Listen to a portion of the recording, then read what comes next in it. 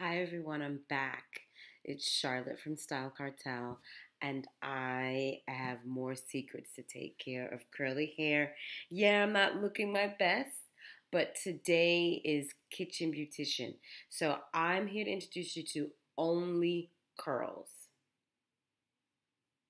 This has no sulfate. It's good for your hair. If you use keratin, these are good for your hair as well. Um, what I really like about it is because it really cleans my hair from the city mildew and everything. And what I really like about the conditioner is it makes my hair feel soft after. Like it's so soft after, like it's loving care. See, and I put in the back. I'll be back to rinse it out. So as you can see, I just rinsed out the conditioner. My hair is so soft and easy to comb through the curls.